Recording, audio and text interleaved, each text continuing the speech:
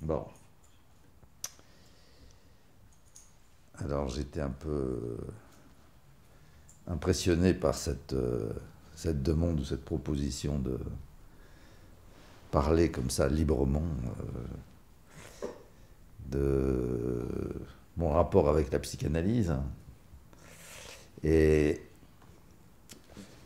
je voulais essayer de trouver une, euh, une ligne directrice. Et donc, à la suite d'une conversation ce matin avec Diana, je pense que une des voies possibles, c'est de, centrer la, présentation sur euh, la question de l'émancipation. Voilà, du rapport entre psychanalyse et émancipation. Euh, je pense que c'est quand même peut-être ma, préoccupation principale. Hein. Euh, peut-être, je ne suis pas sûr, mais en tout cas c'est une préoccupation importante. Hein.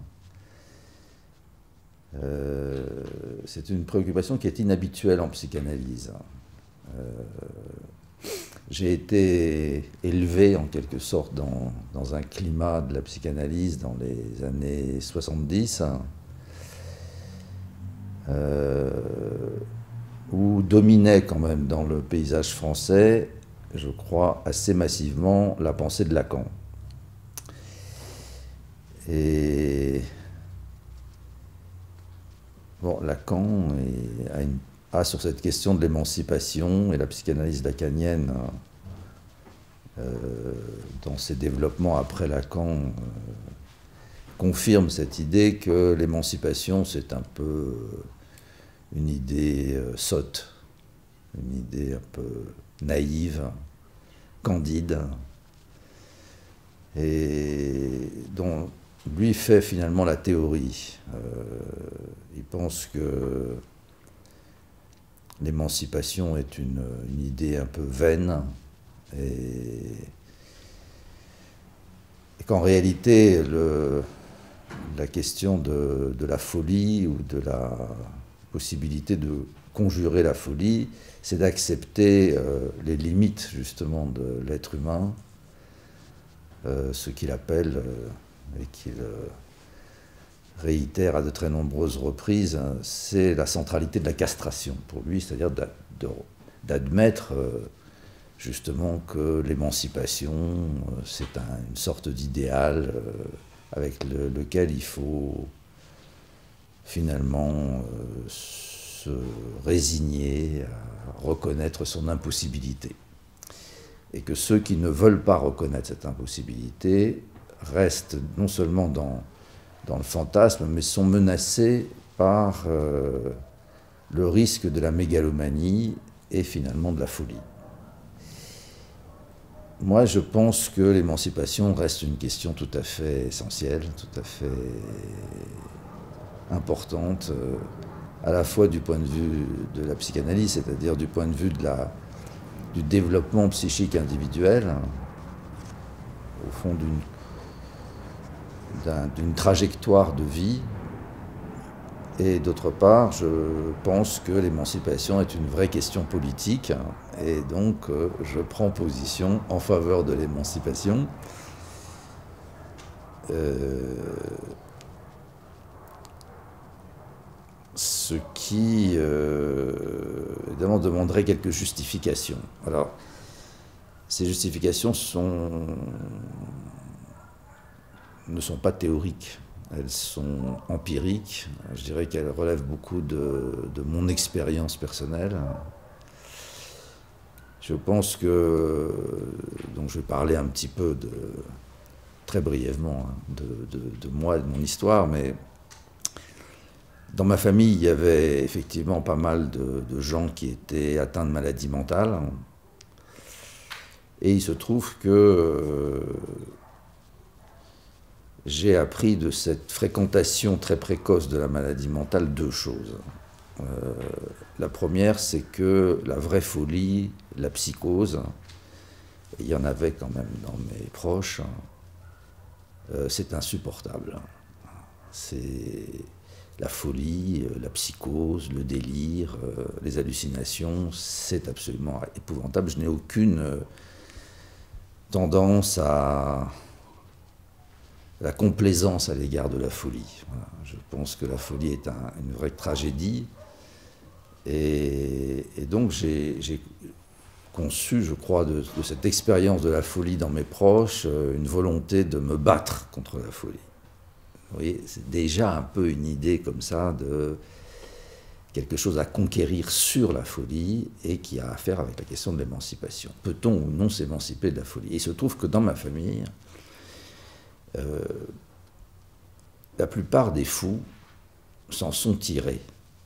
C'est-à-dire, euh, ils ont réussi quand même d'une manière assez remarquable à vaincre la folie. Voilà, j'avais un oncle qui était très fou, qui a été interné en psychiatrie à plusieurs reprises, mais il s'est battu avec sa folie. Et finalement, il a, il a vraiment réussi à surmonter ça et il a fait une très belle carrière euh, d'intellectuel, d'universitaire, de chercheur. il est même devenu président de l'université parisienne à la Sorbonne. C'est très impressionnant de voir quelqu'un qui a été aussi fou que ça, qui s'est pris pour Jésus-Christ, enfin qui avait. Et puis j'ai une sœur aussi, mais je ne vais peut-être pas trop parler d'elle, hein, qui a beaucoup pesé sur ma vie parce qu'elle était un peu plus âgée que moi et elle m'a empoisonné toute mon enfance hein, avec euh, sa folie. Euh, donc deux choses. Je n'aime pas la folie. Et je me suis engagé dans la psychiatrie et la psychanalyse pour lutter contre la folie. Et d'autre part, j'ai la conviction par ses proches que c'est possible de s'émanciper euh, de la folie. Et puis j'ai fait l'expérience moi-même de la psychanalyse. Je pense que j'étais quand même assez fou aussi moi-même. et que donc euh, j'ai eu la chance aussi de faire euh, un trajet considérable par mon analyse et je pense d'avoir bénéficié du plaisir quand même de découvrir la vie et de bien des choses merveilleuses dont je profite aujourd'hui, mais dont je profite aujourd'hui parce que j'ai quand même fait ce travail analytique qui est une expérience de l'émancipation. Euh, au-delà, euh, la question de l'émancipation n'est pas seulement une question individuelle de certaines personnes de mon entourage hein, et une expérience personnelle, c'est aussi la question de l'émancipation politique. Et je pense qu'il y a eu des, et il y a encore des processus d'émancipation pour moi absolument indiscutable dans l'histoire, à commencer par euh, l'émancipation de l'esclavage, qui est une question très importante, même si l'esclavage n'a pas disparu de la surface du, globe, il n'empêche que euh, quand même, on est sorti de l'esclavage de l'Antiquité. Et puis il y a l'émancipation des femmes, par rapport à la domination des hommes, qui est également une question politique, mais qui est quand même une question personnelle aussi, parce que pour un certain nombre de raisons dans ma famille, finalement, il y avait essentiellement des femmes autour de moi. Les hommes étaient assez absents, beaucoup étaient morts. Et donc j'ai vécu dans un monde de femmes, et donc la question de la domination exercée par les hommes sur les femmes est quelque chose dont j'ai été imprégné depuis ma petite enfance.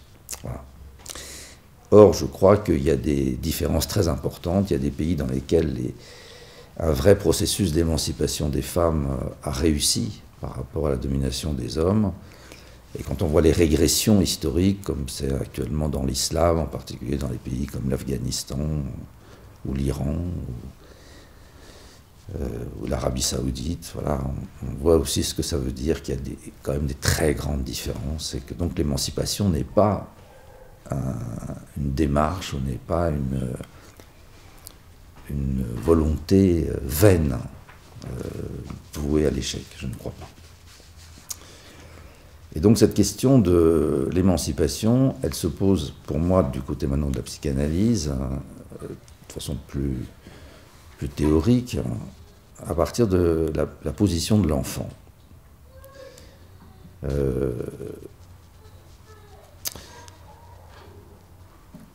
L'enfant, donc c'est pas vraiment très original.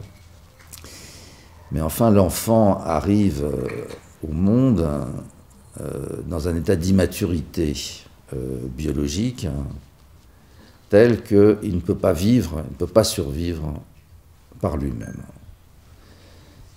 Euh, ses fonctions biologiques sont immatures et euh, si on laisse un enfant se développer tout seul, il meurt tout de suite.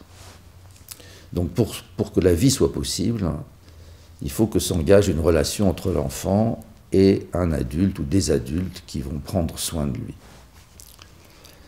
Mais euh, ce n'est pas seulement une relation neutre, c'est une relation évidemment qui est asymétrique entre l'adulte et l'enfant, de telle sorte que l'enfant est dans une relation de dépendance vis-à-vis des soins qui lui sont euh, prodigués euh, par l'adulte. Cette relation de dépendance, elle est première. La survie de l'enfant, biologiquement, mais également psychiquement, sa survie dépend fondamentalement de l'adulte. C'est donc une relation qui n'est pas seulement inégale, c'est euh, une, relation qui est, donc je vais tirer un peu le trait, c'est un peu caricaturé, mais c'est quand même d'abord une relation d'aliénation de l'enfant dans l'adulte.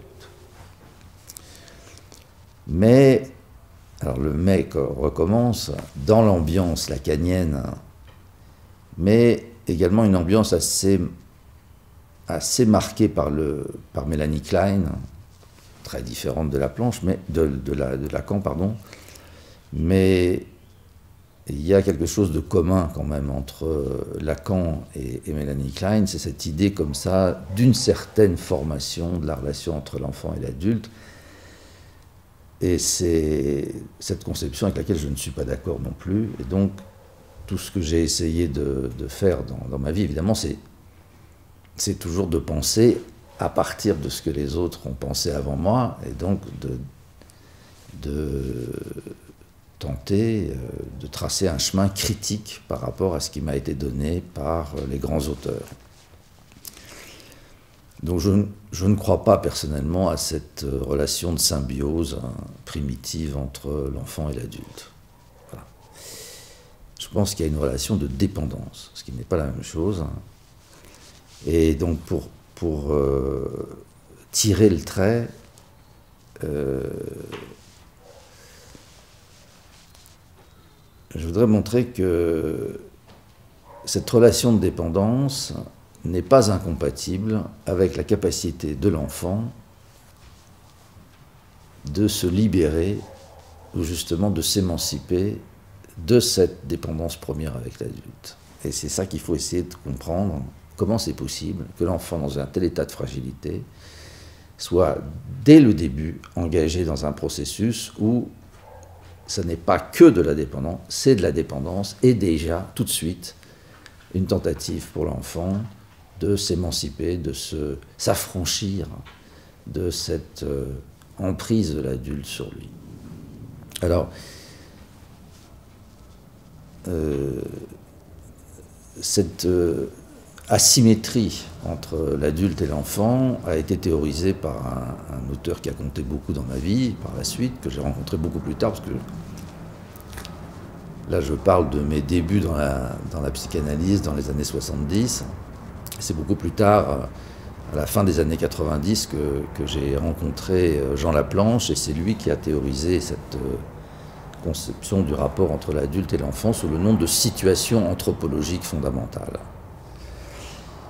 Mais moi, je vais tirer un fil que la planche n'a pas tiré. Je, crois que ça, il n'aurait pas été forcément en désaccord, mais ce n'était pas une chose qui l'intéressait euh, précisément. Euh, c'est que donc, si l'enfant euh, parvient à survivre, c'est important, il faut qu'il établisse un certain type de relation avec l'adulte. Et cette relation en retour déclenche chez l'adulte un certain nombre de conduites, un certain nombre de comportements qui sont très sophistiqués et qui relèvent de ce qu'on appelle le soin, dont on a plus récemment, donc à la fin des années 80, euh, élaboré une théorie. C'est essentiellement des philosophes de philosophie morale et aussi des sociologues qui ont appelé ça la théorie du care. Donc il n'y a pas de traduction en français, donc je l'emploie comme on l'emploie en France aussi, c'est la théorie donc de, du qui est extrêmement sophistiquée, extrêmement passionnante. Euh, mais voilà, les, soins qui sont prodigués par l'adulte à l'enfant, c'est très compliqué. Ce n'est pas du tout une conduite naturelle chez l'adulte, c'est complètement imprégné de mode opératoire, de savoir-faire technique euh, très sophistiqué, très marqué par les différentes cultures et par les différentes étapes euh, de l'histoire. Donc on pratique le soin aux enfants aujourd'hui, euh, pas du tout de la même façon qu'on les pratiquait il y, a, il y a 40 ans, et a fortiori au siècle dernier, et au 19e siècle, ou encore avant. Mais le, point peut-être euh, important, c'est que dans cette relation très déséquilibrée, où l'enfant dépend vraiment de la qualité des soins de l'adulte, en réalité s'établit une relation où euh, l'enfant impose à l'adulte un certain nombre d'exigences qu'il arrache à l'adulte. Et en réalité, ce n'est pas seulement une relation où passivement l'enfant s'expose à la toute-puissance de l'adulte.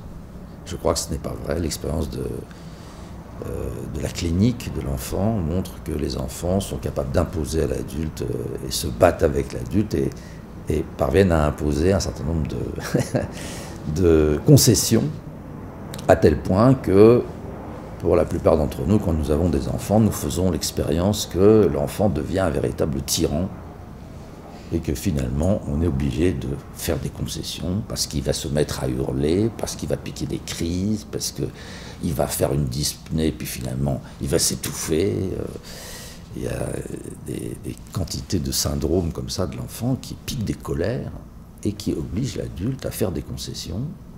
Et l'enfant, on veut le coucher le soir à 8 heures parce qu'on nous a appris dans les théories du Caire aujourd'hui, dans les années 2000, qu'un enfant doit se coucher tôt, euh, à 8 heures du soir, il doit dormir.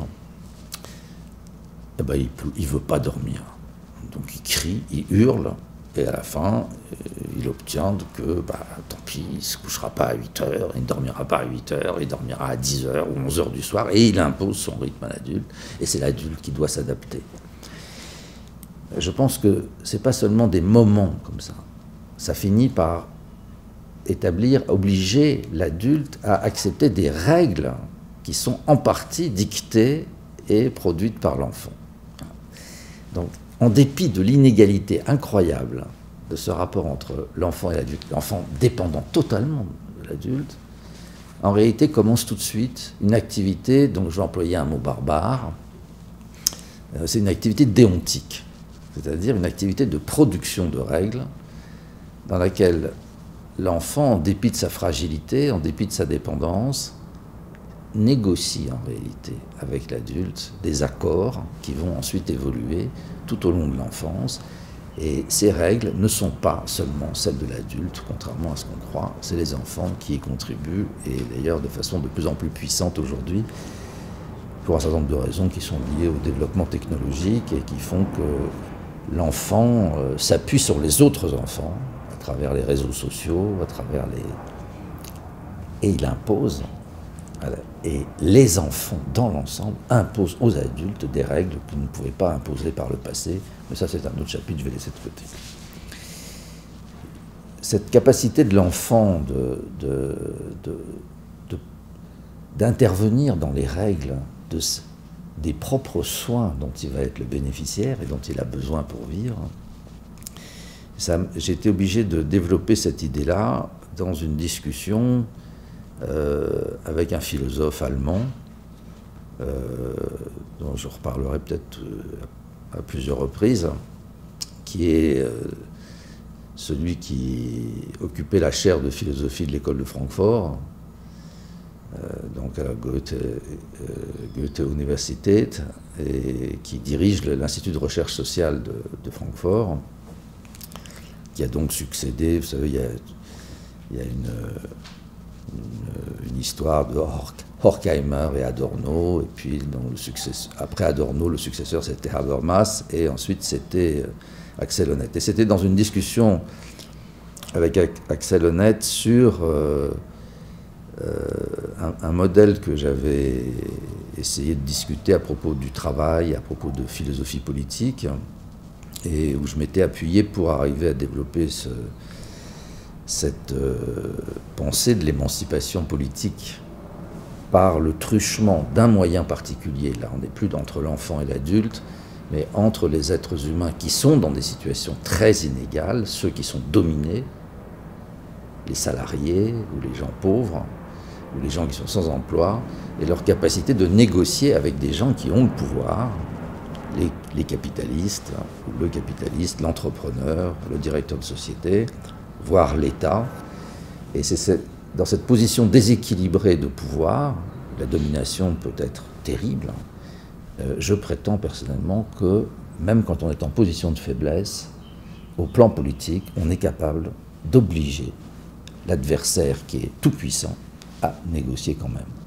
Alors, ce sont les conditions qui rendent ça possible, hein, que je discutais avec Axel Honnête, et c'est comme ça que j'ai été amené à montrer que cette capacité d'intervenir et d'obliger celui qui domine à faire des concessions prend son origine dans le rapport entre l'enfant et l'adulte dès le début.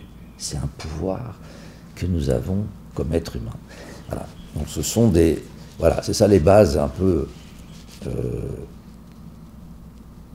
alors, elles sont cliniques, mais elles ont évidemment une dimension anthropologique euh, sur lesquelles je me suis appuyé pour prendre cet axe de l'émancipation aujourd'hui pour parler de la psychanalyse. Alors, le... il y a une deuxième étape. Évidemment, c'est un peu coupé comme ça, euh, de façon séquentielle et un peu artificielle. Euh, mais bon, moi je fais partie d'un courant de la psychanalyse hein, euh, qui est resté très proche de Freud. Hein et euh, qui donc considère que au centre euh, de la psychanalyse, il y a la question de la sexualité. Alors là aussi, pourquoi, pourquoi est-ce que je, pense que cette sexualité est la question centrale de, la psychanalyse Ça demanderait évidemment pas mal de développement. C'est une intuition, au fond, qui prend son origine dans une expérience personnelle.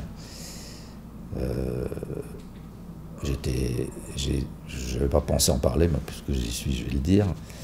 Euh, j'ai découvert la psychanalyse quand j'avais 15 ans à peu près, euh, par un ami que j'avais à l'époque et qui était nettement plus âgé que moi, et, qui m'a parlé pour la première fois de la psychanalyse. Hein. Et en particulier, euh, au cours d'une conversation comme ça, parce que très passionné par les discussions, discuter de tout, euh, notamment la, question du complexe d'Édipe.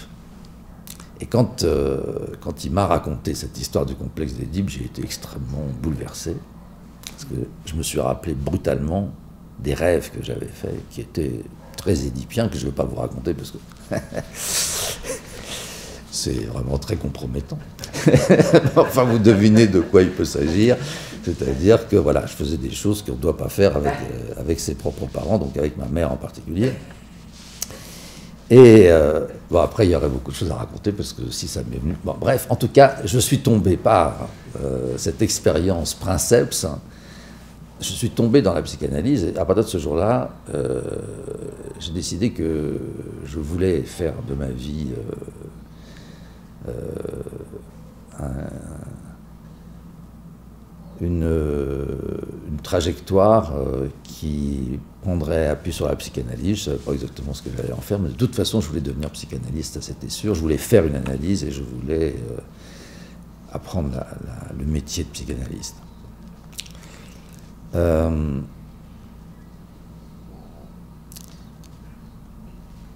mais bon, euh, l'idée de la sexualité que j'avais à cette époque-là n'était pas du tout celle que j'ai acquise par la suite euh, en travaillant le métier d'analyste, en apprenant la métapsychologie, en, fréquentant l'œuvre de Freud. Euh, où là quand même j'ai appris énormément de choses dont je n'avais pas du tout l'intuition et qui sont des choses assez compliquées. Mais la sexualité au sens freudien du terme, c'est une sexualité bien précise, pour moi cas, et pour un certain nombre de personnes avec qui j'ai travaillé par la suite. Hein. Euh, c'est la sexualité de l'enfant, euh, qui n'est pas seulement une sexualité de l'enfant, c'est une sexualité chez l'enfant, ce qui est déjà un paradoxe incroyable. Comment peut-il y avoir une sexualité chez des tout petits enfants Et que Freud caractérise comme une, sexualité infantile, perverse et polymorphe? Voilà. Euh, ça, c'est vraiment l'héritage freudien, ça n'est pas du tout une intuition personnelle. Je disais que c'est un paradoxe. Comment se fait-il que des enfants aient une sexualité, ce avec quoi, déjà du temps de Freud, la plupart des psychiatres euh, et des aliénistes étaient d'accord que les enfants ont une sexualité Comment est-il possible que les enfants aient une sexualité alors que leurs organes génitaux ne sont pas développés et que leurs hormones, c'est-à-dire les glandes endocrines, ne sont pas arrivées à maturité? Cette sexualité ne peut pas être d'origine biologique. Elle est puisque la biologie ne viendra au rendez-vous que beaucoup plus tard, à la puberté, c'est-à-dire 10, 12, 14 ans, 15 ans plus tard. Or déjà l'enfant tout petit a des intérêts sexuels évidents. Donc, quelle est l'origine de cette sexualité? Si elle n'est pas biologique, d'où vient-elle? Là, on entre sur un, problème à partir duquel naissent de très grandes controverses à l'intérieur de la psychanalyse. Donc là, je dois à ma rencontre avec la planche une systématisation de cette question euh, euh, à laquelle je, je, suis très attaché c'est cette idée que euh, la sexualité vient à l'enfant par l'adulte. C'est le résultat d'une séduction de l'enfant par l'adulte. Alors c'est une longue histoire. Je, voilà, je ne vais pas vous faire un cours sur la théorie de la séduction, parce que c'est la, grande euh, organisation systématique euh, élaborée par euh, Jean Laplanche, ça porte le nom de théorie de la séduction généralisée, qui est une théorie magnifique. je ne vais pas raconter tout ça parce que ça prend beaucoup de temps, même si j'aime beaucoup raconter ça, parce que c'est très très très beau. mais il faut quand même que j'en dise quelques mots pour que je puisse continuer.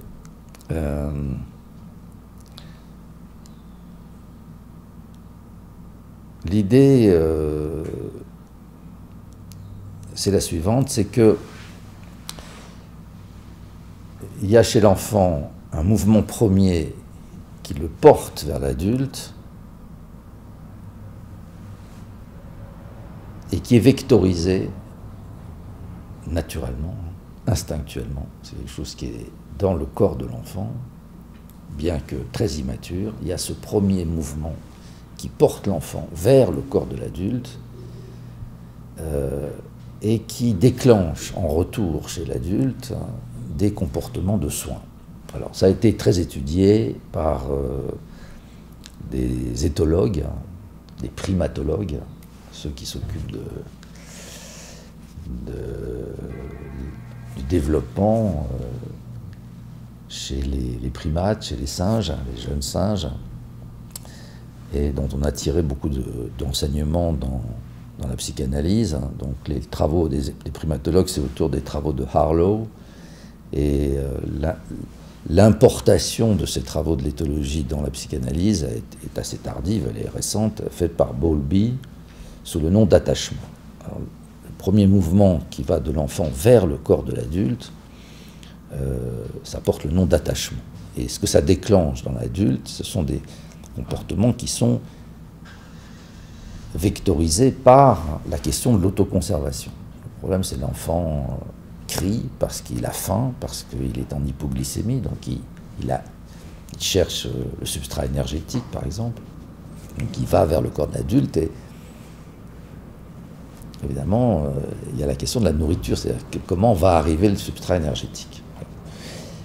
Donc, euh, d'une manière ou d'une autre, du sucre, de l'eau aussi, puisque si l'adulte ne vient pas nourrir l'enfant, l'enfant se déshydrate. Donc, bah, tous les... Je ne vais pas entrer dans le détail de toute cette, euh, cette clinique-là, qui est passionnante, mais dans ce mouvement premier du corps et le retour qui s'appelle le retrieval de la part de l'adulte, il y a bien quelque chose qui est instinctuel au départ et qui est porté par la biologie. Mais quand l'adulte prend soin de l'enfant, on ne peut pas faire autrement que d'entrer dans un corps à corps avec l'enfant. Si l'enfant a froid, il faut le réchauffer, et le réchauffer, il faut le prendre dans ses bras. Si euh, l'enfant a faim, il faut lui donner le sein, lui donner un biberon, mais même si on lui donne un biberon, il faut le prendre dans ses bras, il faut le porter, il faut lui donner le biberon, il faut donner le sein.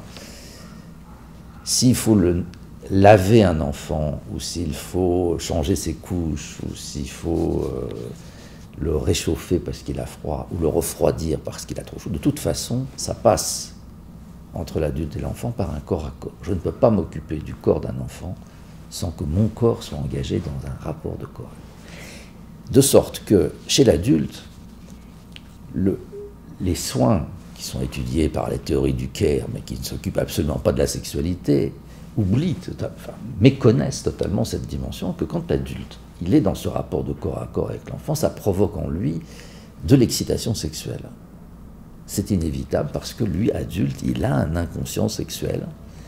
Et donc, au lieu de prendre soin uniquement de l'enfant au sens strict, c'est-à-dire de rester dans le registre purement instrumental, des, soins qui seraient purement hygiéno-diététiques et purement dans le registre de l'autoconservation, il mêle, il, euh, ajoute à ça, il euh, pollue, il contamine le comportement euh, qui devrait être instrumental par des choses qui viennent de son inconscient. alors au lieu de, euh, changer la couche et, de l'essuyer, après il. Il fait des tas de choses, et puis il raconte des choses, et puis il chante, et puis il parle, et puis il fait des sourires. Tout ça n'a rien à voir avec le soin, c'est des choses qui viennent de lui.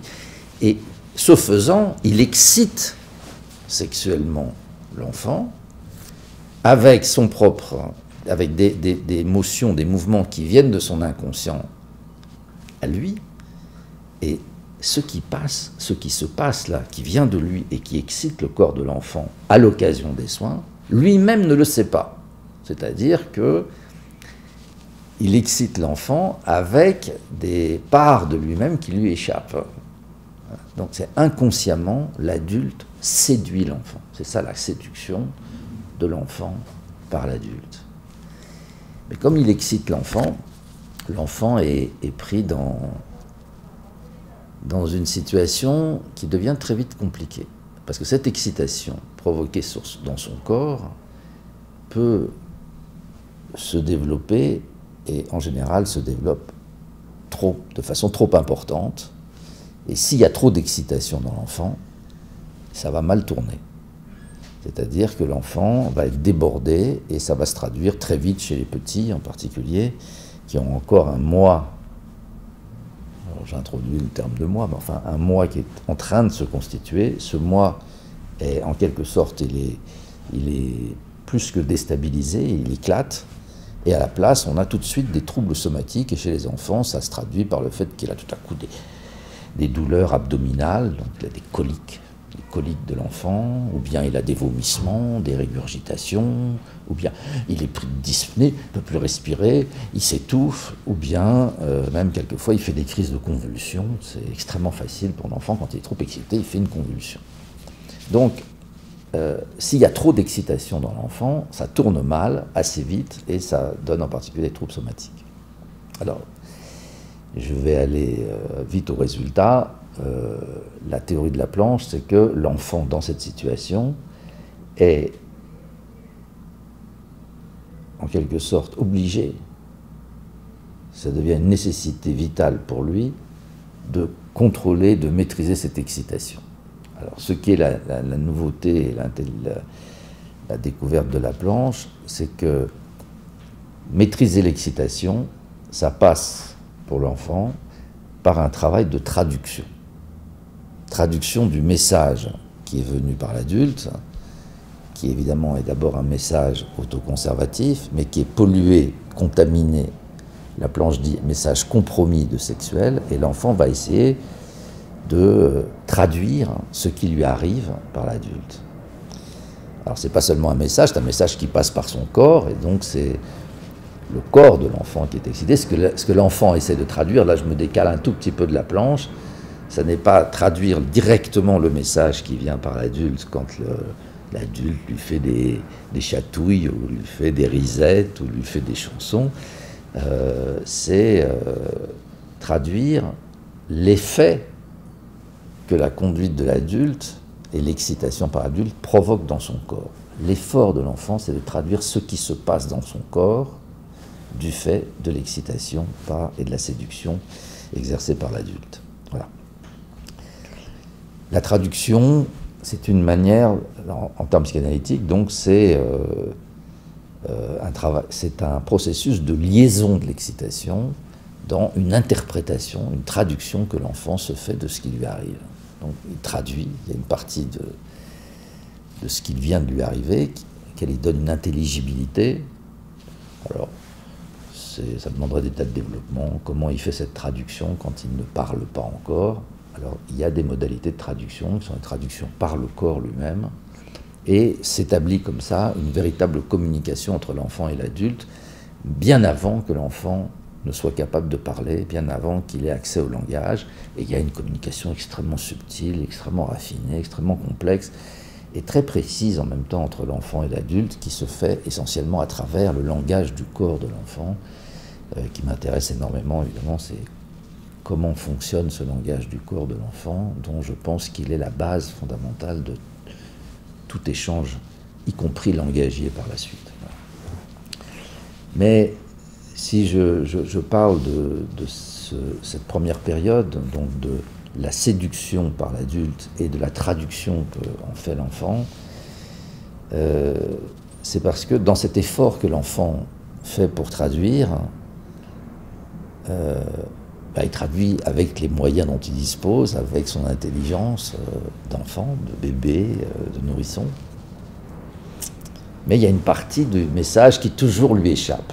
Il traduit ce qu'il peut, mais la traduction est toujours évidemment incomplète.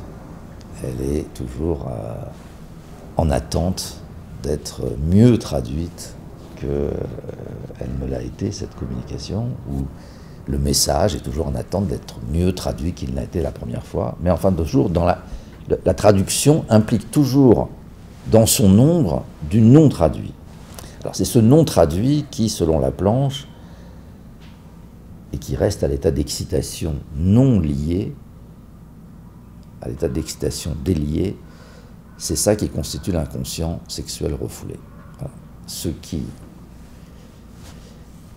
du message compromis par l'adulte, par, la sexualité et l'inconscient sexuel de l'adulte, ce qui n'a pas été traduit, c'est ce qui reste comme le noyau de l'inconscient, ce que euh, la planche reprenant Freud appelle le refoulement primaire. C'est la base de l'inconscient sexuel de l'enfant. Donc, la base de la sexualité de l'enfant, elle n'est pas innée, c'est pas du tout dans la biologie. C'est dans les relations avec l'adulte que quelque chose s'est passé. L'adulte est un séducteur pour l'enfant et tout adulte ne peut faire autrement que d'être un séducteur. Si on pousse un peu plus loin, tous les adultes, c'était une fois, une la planche avait dit ça, les adultes sont des pédophiles c'est une provocation. Euh, et les enfants, l'enfant est toujours un herméneute, c'est-à-dire qu'il est toujours en train de chercher à traduire. Et ça, c'est la condition humaine fondamentale, c'est la traduction. L'être humain est un traducteur. Mais dans cette opération, ce qui m'intéresse le plus par rapport à cette idée de l'émancipation, c'est que entre ce qui vient de l'adulte et ce qui va advenir comme inconscient chez l'enfant, il y a la traduction faite par l'enfant.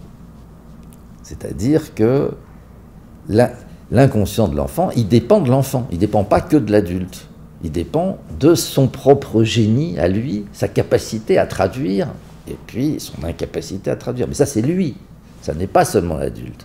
Donc c'est une contestation, cette théorie de la séduction généralisée, c'est une contestation de cette idée d'une transmission directe de l'inconscient de l'adulte dans l'inconscient de l'enfant. Ce n'est pas une séduction directe, c'est pas une transmission directe, il n'y a pas d'introduction comme ça dans l'enfant, des noyaux. Non, l'enfant traduit. Et c'est en fonction de sa traduction qu'il va y avoir un reste. Et donc c'est son génie propre qui intervient dans euh, ce qui va devenir son inconscient sexuel. Mais quand l'enfant réussit cette opération de traduire, d'un côté, ce qu'il arrive à lier dans une traduction, dans une intelligibilité de ce message, c'est ce qui constitue son préconscient dans la première topique freudienne, et c'est également ce qui est l'embryon du moi.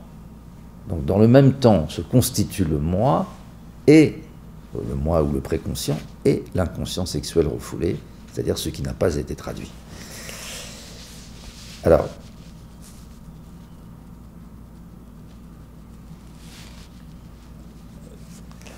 il faudrait que j'ajoute euh, un point là qui est important aussi pour moi, euh, c'est que euh, les registres de traduction possibles par l'enfant évoluent avec sa croissance, sa croissance biologique cette fois.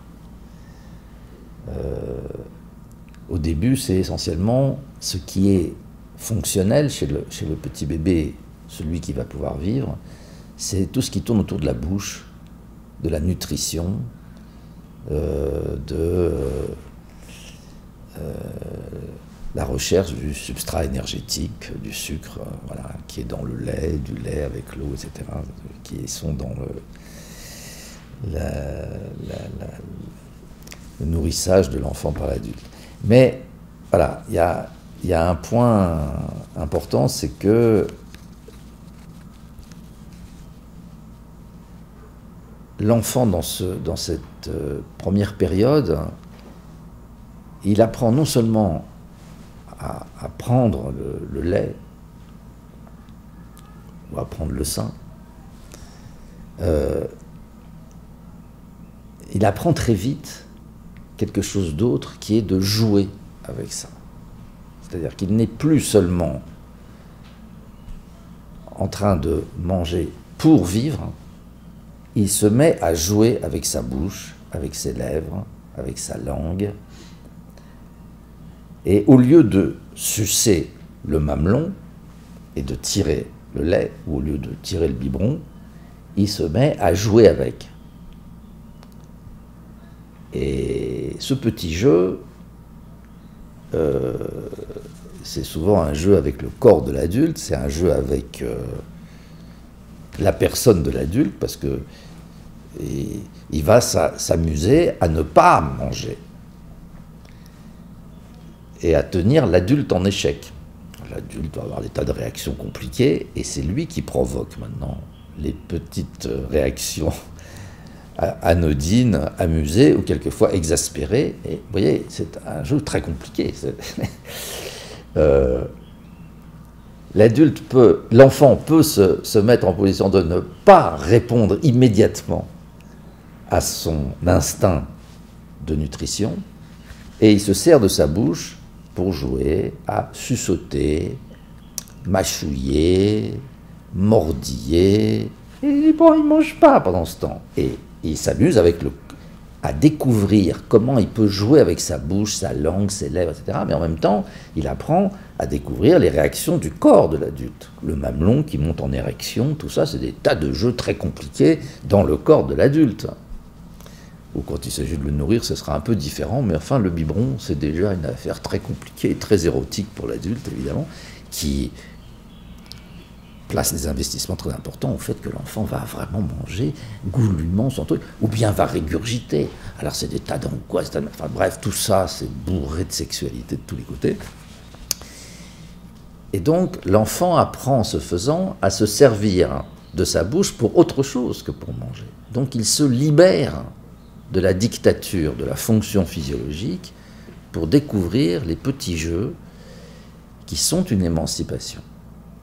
Peut retarder euh, son besoin de manger pour jouer, pour s'amuser avec l'adulte, avec le corps de l'adulte, découvrir le corps de l'adulte et découvrir son propre corps à lui. Et puis quand il va grandir après, quand le système pyramidal va arriver à maturité, il va pouvoir jouer avec les sphincters et retenir le pipi, le caca. Et alors là commencent des scénarios très compliqués avec l'adulte, beaucoup plus sophistiqués que ceux qui sont avec la bouche et qui vont permettre de faire plein de machins nouveaux. Et quand il va pouvoir marcher, parce que voilà, alors là ça va recommencer, il va aller faire toutes les bêtises, mettre les doigts dans les prises de courant, l'adulte va courir derrière. Enfin, et là il découvre toute la puissance de son corps et de sa capacité de dominer, d'embêter l'adulte, de le faire faire des choses. C'est incroyable. Tout petit, ça commence tout ça. Donc, dans ce processus, il y a une émancipation. Mais l'émancipation, par rapport à l'ordre biologique et par rapport aux fonctions physiologiques, s'est rendue possible grâce à cette sexualité. Donc la sexualité, c'est le médium de l'émancipation qui permet à l'être humain de sortir du règne et de l'ordre animal pour devenir un humain. Alors ça, c'est une proposition psychanalytique, c'est pas une proposition anthropologique. Les anthropologues, ils voient pas du tout la sexualité pour la plupart d'entre eux. C'est la culture contre la nature. il y a tout un tas d'interprétations possibles sur l'humanisation, le langage. Non, nous, pour nous, les psychanalystes, c'est pas ça. C'est vraiment autour de la sexualité que se joue la possibilité pour un être humain de sortir du règne animal et d'advenir dans Voilà, ça c'est une jolie histoire. Petit à petit, à partir de les jeux sur la bouche, il y a tous ces petits jeux de la vie. Bon, ce sont ces jeux qu'on va utiliser ensuite dans la vie érotique, dans les, voilà, les bisous, les machins, les mordillages et tous les petits jeux de la vie amoureuse, autour du corps, de la peau. Euh, de la marge anale, des muqueuses, tout ça, les jeux avec les yeux, les jeux avec le regard, tout ça, c'est les jeux de la vie sexuelle. C'est-à-dire que de proche en proche, au fur et à mesure que les différentes étapes de la maturation du corps biologique rendent possible à l'enfant de découvrir de nouveaux jeux du corps, petit à petit, c'est tout le corps biologique qui est subverti au profit d'un autre ordre qui est l'ordre érotique. Et donc, de proche en proche, ce processus aboutit à la formation d'un deuxième corps. Voilà. Donc là, ma position, moi, c'est que nous avons deux corps. Il y a un corps biologique, c'est celui qu'on a à la naissance, et petit à petit, quand ça se passe bien avec l'adulte, eh bien l'enfant développe un deuxième corps, qui est le corps érotique, qui est le corps que j'habite, le corps que qui s'éprouve sur le mode sensuel de tous les plaisirs de ces petits jeux, et qui est aussi le corps de l'agir expressif, c'est-à-dire ce même corps que j'engage lorsque je parle euh, avec vous. Là, c'est très compliqué parce qu'on parle avec des caméras, avec un truc très très compliqué du point de vue psychique. Euh, mais enfin, vous voyez bien que je ne fais pas que dire des mots. Voilà, je parle, le son, la voix, le souffle, les cris, les mimiques, la gestique, langage, je bouge tout le temps. Ce corps dit des choses qui, qui sont bien plus riches que les simples mots que j'utilise. Donc, mon corps et la, la manière dont j'engage mon corps, ma motricité, mes mimiques, ma gestique, ma psychomotricité dans ma parole, c'est le corps expressif, c'est l'agir expressif, et c'est en fait avec euh, cette mobilisation qui vient du corps érotique aussi que se joue la question de la séduction. C'est évidemment euh, à la mesure de cette capacité de que j'apprends tout petit à jouer avec mon corps et les différentes parties de mon corps que se constitue ce pouvoir de séduction sur, sur l'autre. Mais là, on est passé dans le deuxième registre, on n'est plus dans le registre animal et le registre biologique, on est passé dans le registre érotique, c'est autre chose. Il y a donc entre le premier ordre, qui est l'ordre biologique, celui de la nature, celui que nous avons à la naissance, et puis la formation d'un deuxième ordre, une, un, un, rapport de subversion. On subvertit l'ordre biologique au profit d'un deuxième ordre qui est l'ordre érotique dans lequel nous vivons, dans lequel nous nous éprouvons nous-mêmes sur le mode affectif, du pâtir, de la souffrance, du plaisir, etc., de toutes les, choses qui constituent les affects, qui constituent la vraie vie au sens psychique du terme, qui n'est pas la vie biologique précisément. La vie qui nous intéresse, nous psychanalystes, n'est pas la vie biologique dans un premier temps. Ce qui nous intéresse, c'est la vie qui s'éprouve en soi sur le mode de l'affect. J'éprouve le plaisir, la colère, la haine, l'angoisse, enfin tout un tas de choses. Mais c'est ça la vie. Donc c'est pas la vie au sens des biologistes, c'est la vie au sens, la vie absolue, ce qu'on pourrait appeler la vie phénoménologique absolue ou la vie subjective. C'est la subjectivité même. Et c'est celle-là qui nous intéresse parce que c'est d'elle que dépend la santé mentale fondamentalement. Voilà. Donc le modèle de l'émancipation, c'est la subversion. On part de quelque chose et on produit à partir de cette première base quelque chose qui est totalement nouveau, totalement inédit, totalement incroyable, et qui est une liberté incroyable par rapport à lui. Telle liberté que aujourd'hui, voilà, une femme, elle est capable de désirer sexuellement et de faire l'amour en dehors des périodes qui sont les périodes biologiques du rut qu'on a chez l'animal, chez les mammifères, où il n'y a d'excitation sexuelle et il ne peut y avoir de relation sexuelle que pendant la période de chaleur. Chez les vaches ou chez les, juments, c'est pareil. Voilà. Et sinon, euh, vous pouvez mettre un étalon à côté d'une jument, il ne bouge pas. Mais si elle est en chaleur, là, il saute dessus. Donc, même le rythme sexuel du cheval, de l'étalon, dépend du, euh, des chaleurs de la jument. Mais chez l'être humain, l'émancipation par rapport à la biologie, c'est l'émancipation d'une sexualité qui fait que même après la ménopause, des femmes peuvent avoir des relations sexuelles et que euh, euh, cette sexualité infantile, elle a commencé bien avant que la biologie soit là. Donc c'est invraisemblable, cette subversion colossale par la sexualité humaine de produire quelque chose d'entièrement nouveau qui n'a rien à voir avec la biologie. Et ça, c'est une vraie découverte freudienne quand même. C'est la découverte de cette sexualité dont il va falloir maintenant donner les autres caractéristiques. Moi, j'essaie de dire comment ça naît, tout ça. Mais bon, après, il faut caractériser encore cette sexualité parce qu'elle va nous poser des tas de problèmes.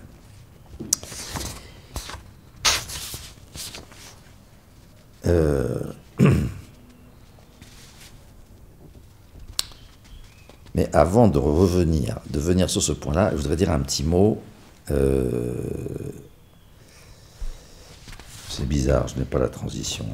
J'ai un, trou un peu, mais enfin, tant pis, je vais dire ce que je voulais dire.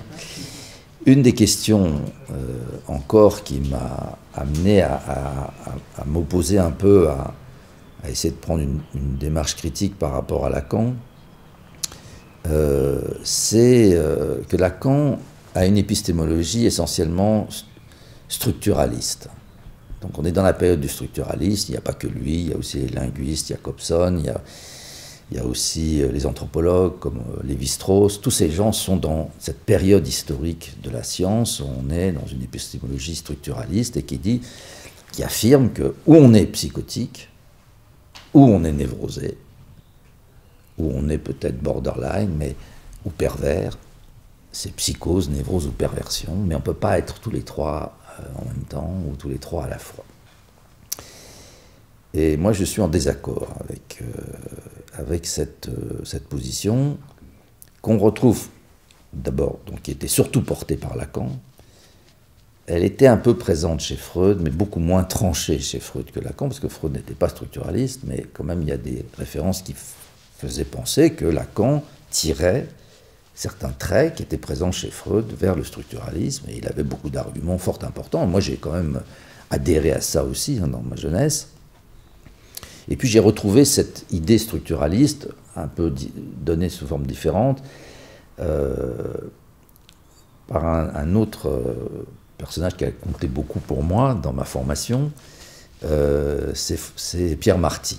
Alors Pierre Marty, c'est un psychosomaticien, un psychanalyste français, et qui, avec un groupe d'autres psychanalystes, il y avait Michel Fin, Michel de Musan, Christian David, et puis un peu plus marginalement d'autres comme Sami Ali, qui sont assez connus au Brésil, euh, qui ont euh, ouvert la voie à la possibilité de penser une approche psychanalytique des maladies du corps. Donc des maladies du corps du côté des maladies biologiques du corps. Et euh, Marty, comme Lacan, bien qu'il ait été très adversaire de Lacan, il a eu toute une histoire avec Lacan, puisque Lacan était président de la société à l'époque, de la, de la Société française de psychanalyse, et euh, il avait pour secrétaire Marty.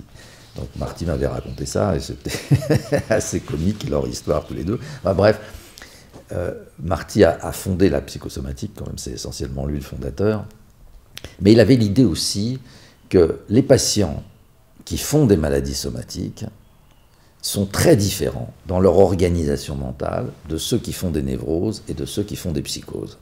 Et donc on retrouve cette idée de structure, même si ce n'est pas sous ce terme-là que c'est donné. Lui, c'est euh, une classification psychosomatique qui parle plutôt en termes de névrose bien mentalisée, et puis euh, voilà, des gens qui sont mal mentalisés.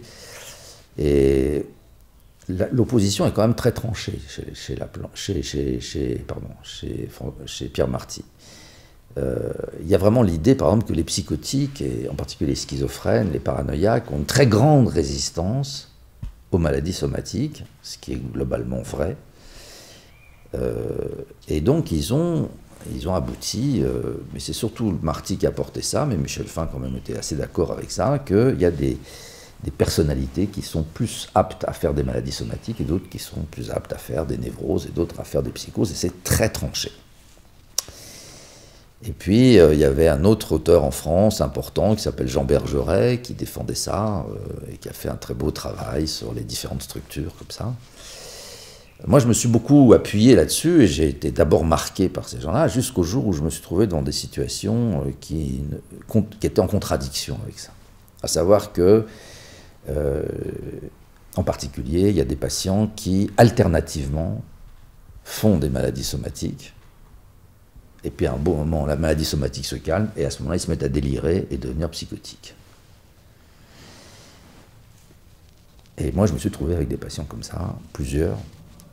Et euh, ça, c'est très compliqué. Alors, on peut pas. Alors, où on est somatique, où on est psychotique, c'était ça la théorie, mais dans la pratique, c'est pas vrai. Il y a des gens qui alternent. Et puis il y a des psychotiques qui, en beau être psychotiques et très organisés, ils finissent par faire des maladies somatiques. Euh, et puis, euh, moi, je me suis rendu compte que même les névrosés les plus organisés, les plus subtils, ceux qui sont supposés être les plus résistants aux maladies somatiques, bah, finalement, ils font des maladies somatiques. Et à la fin, en plus, tous autant que nous sommes ici, nous finirons par faire une maladie somatique et mourir. Parce qu'on meurt tous de maladie. Soit c'est un accident, ça c'est autre chose, c'est la guerre, mais en dehors des accidents, dans la vie ordinaire, nous finissons tous par faire une maladie qui va nous tuer. Donc, la maladie somatique, euh, c'est pas une structure. On ne peut pas dire qu'il y a des gens qui sont. Ça ne marche pas pour moi. Et euh, là est venu se greffer un, problème euh, supplémentaire pour moi, c'est que il y a des gens qu'on connaît comme ça dans notre entourage, qui sont des gens charmants, gentils, subtils, artistes, rêveurs, fantasmeurs, créatifs, euh, adorables, aimables, aimés, charmants, toutes les qualités. On leur donnerait le bon Dieu sans confession. Et puis un beau jour, on apprend que cet homme qui est tellement charmant, qui est tellement aimable et tellement aimé, et, et ben un jour il a tué sa femme. Alors ça, c'est une autre configuration. C'était totalement inattendu qu'un un homme comme ça, et tout à coup, puisse être violent et tuer comme ça, ou sa femme, ou son propre enfant. C'est quelque chose d'incroyable.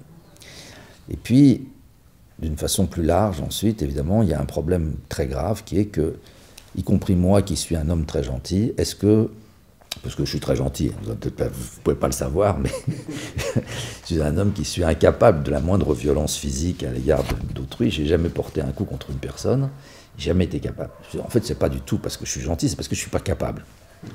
Mais, euh, eh bien, même moi qui ne suis pas capable, la question se pose de savoir si je peux devenir un soldat et si je peux partir à la guerre et tuer d'autres gens.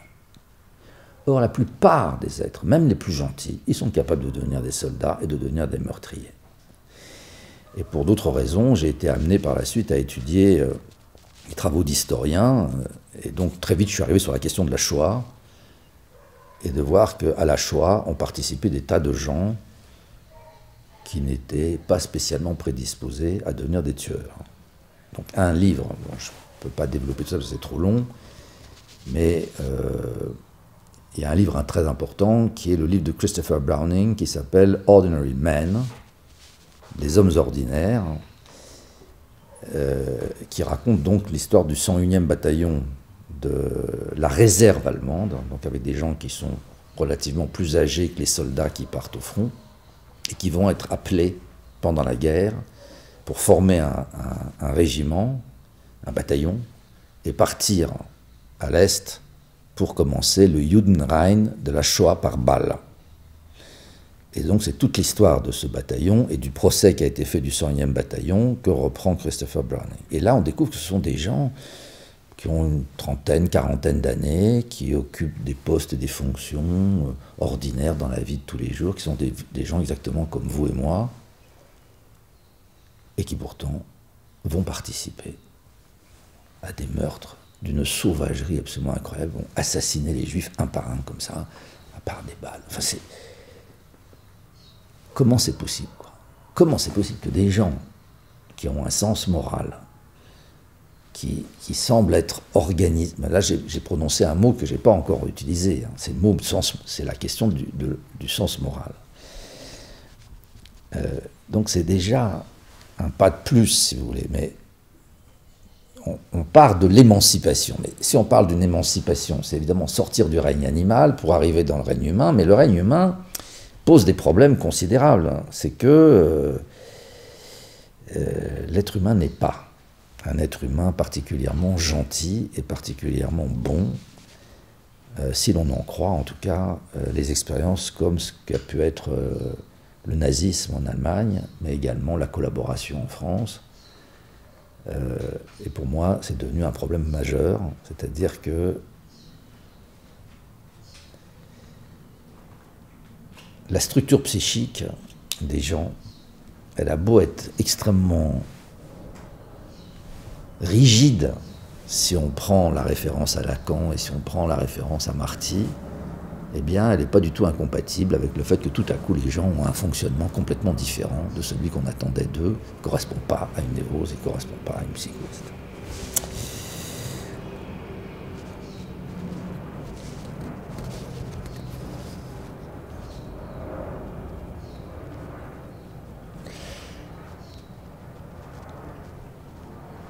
La plupart de ces auteurs, qu'il s'agisse de Lacan, qu'il s'agisse de Marty, qu'il s'agisse de Bergeret, ils cherchent toujours l'origine de cette formation, de la névrose, de la psychose, de borderline ou éventuellement de la vulnérabilité aux maladies somatiques. Donc ils cherchent la cause, ils cherchent le, le chemin causal qui conduit à la formation de ces structures pathologiques ou pré-pathologique qu'il y a chez chacun d'entre nous. Voilà, alors ça c'est des longs débats avec euh, la psychosomatique que j'ai eu pendant des années, donc en discussion avec Marty principalement, mais aussi avec Michel Fin, avec qui j'ai longuement travaillé. C'est que je, je, pense que leur préoccupation, c'est de comprendre l'origine psychique d'un certain nombre de maladies somatiques. On trouvait ça chez Alexander déjà aux États-Unis. Euh, on a trouvé ça dans beaucoup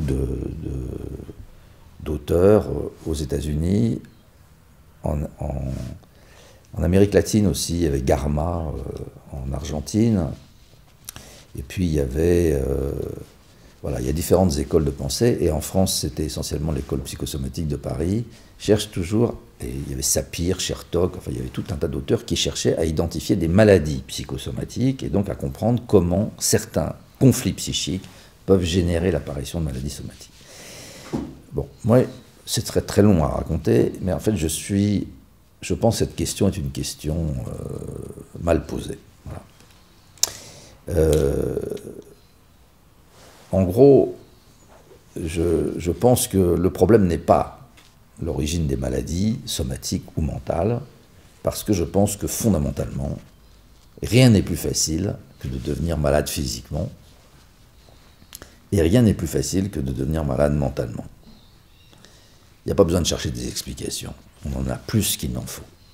Même la nature n'est pas bonne hein, avec l'être humain la nature qui serait dans la nature, elle vous apporte les prions, les virus, les bactéries, euh, c'est épouvantable et la nature, elle fait des tremblements de terre, la nature, elle fait des ouragans, la nature, elle fait plein de choses qui détruisent les êtres humains. C'est extrêmement facile de tomber malade. Maintenant, si on se tourne vers la société, bah, la société, elle n'est pas très gentille avec les êtres humains non plus. Moi, comme j'ai travaillé par la suite, euh, j'en dirai quelques mots après, sur euh, le travail et la psychopathologie du travail, je peux vous assurer que le, monde du travail, les rapports de domination, ça va jusqu'à la guerre. Les êtres humains dans la société, la société n'est pas très gentille avec l'être humain et il n'y a rien de plus facile que de devenir fou à cause du travail, de devenir fou à cause de la domination, euh, d'y perdre complètement, j'en pourrais en parler, mais aujourd'hui il y a on en arrive à des situations où, à cause du travail, les gens finissent par se suicider sur leur lieu de travail. Donc, la, société, elle elle peut être extrêmement nocive pour chacun d'entre nous. Et quand on se retourne maintenant du côté de la famille, pas quand on est psychanalyste évidemment, on est très sceptique à l'égard euh, du rôle des adultes vis-à-vis des enfants. Et si les enfants sont névrosés, psychotiques, c'est toujours de la faute de la mère, la faute du père, la faute des machins, le père qui n'était pas suffisamment présent, je sais pourquoi, la loi du nom du père. En bref, c'est tout le temps les parents qui sont responsables. De toute façon, les parents, c'est ce qu'il y a de pire. et c'est vrai déjà depuis l'antipsychiatrie anglaise avec... Euh, euh Lang et Cooper, tout ça, tous ces gens qui ont travaillé, ou l'anti, ça, ça s'appelle l'antipsychiatrie anglaise, mais il y a aussi la psychiatrie politique italienne qui a joué un rôle très important dans ma formation, c'était mon époque. Et si on étudie Foucault, alors vraiment l'horreur de l'ordre, etc., et des systèmes disciplinaires. Donc au fond, être malade, c'est très facile. Ce qui est problématique, c'est comment on fait pour ne pas être malade. Comment fait-on pour ne pas mourir? Donc moi, je retourne la question. Et la vraie question de la psychanalyse, c'est de comprendre comment nous faisons les uns et les autres pour combattre le risque que nous avons de devenir fous ou de tomber malade physiquement.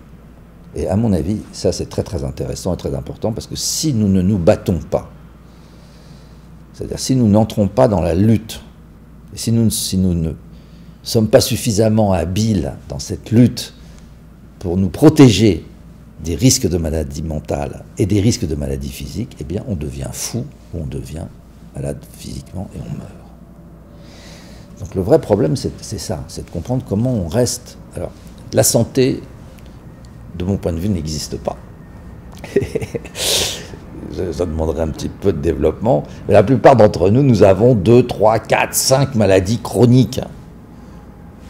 Et encore, c'est pas beaucoup. Il y en a qui en ont plus que ça on a les dents pourries, on a les yeux bileux, vous voyez bien, moi je mets des lunettes, il y a les cheveux qui tombent, des dermatoses, des psoriasis, des urticaires, des allergies, des machins, des maux de tête, des lombalgies. Enfin, c'est épouvantable, on a tous 3, 4, 5, 6 maladies comme ça, des coliques, des ulcères. Et puis j'ai fait ma thèse de médecine là-dessus, sur l'épidémiologie, donc sur... Euh, l'état de santé de la population française. alors j'ai découvert l'énormité des maladies chroniques, et les maladies aiguës sont très rares, ça, constitue un tout petit, tout petit morceau de la pathologie. L'essentiel, c'est des maladies chroniques, et nous en avons tous. Donc, si nous avons tous des maladies chroniques, et heureusement qu'il y a des gens qui font réparer les dents, qui font qu'on a des couronnes qui marchent très bien. Heureusement que euh, y a des, des lunettes et tout ça. Sinon, la vie devient impossible. Hein. Vous pouvez même pas conduire, vous pouvez rien faire, hein. vous voyez rien. c'est élémentaire, mais notre vie, elle se ratatine tout de suite s'il n'y a pas tous ces, tous ces éléments d'aide. Et ce qu'on peut arriver à faire de mieux, c'est pas la santé. La santé, c'est un idéal. Donc ça n'est pas un état de, un état de bien-être physique, psychique et social, comme le dit euh, l'Organisation mondiale de la santé, que tout le monde répète, c'est absolument faux, ça n'existe pas, c'est un idéal. En revanche, ce que nous pouvons faire, c'est arriver à la normalité. la normalité, c'est un compromis qui est carrément en dessous de la santé. Alors en dépit, bah voilà, j'ai des yeux bigleux, bah, je mets des lunettes, euh, j'ai des dents pourries, on me les a réparées, euh, je sais pas j'ai mal dans le dos, je prends un peu d'aspirine, je fais de la gymnastique, il y a des kinésithérapeutes, machin, et ça va, à peu près. Et ça s'appelle la normalité. Et bon, après, ça demande des tas d'artifices de, définition, parce que c'est quand même assez compliqué de définir la normalité, parce que la normalité en, en 2018 n'est pas la même normalité qu'il y a 40 ans, parce que les techniques médicales ont changé, parce que, etc. Donc c'est très marqué socialement, historiquement, euh, etc. Bon. Mais je ne vais pas entrer là-dedans.